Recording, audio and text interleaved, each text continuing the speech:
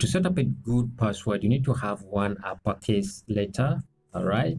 We need to have a lower le a lowercase letter, and then we need to have a number, and we need to have a symbol. So under symbols, we are talking about uh, exclamation, at hash, dollar sign, all those other symbols. All right and make it random. Don't use your phone number, don't use part of your email address or the website domain or something. Make it something generic. All right. So, for example, you could do something like uh, mm, back three seven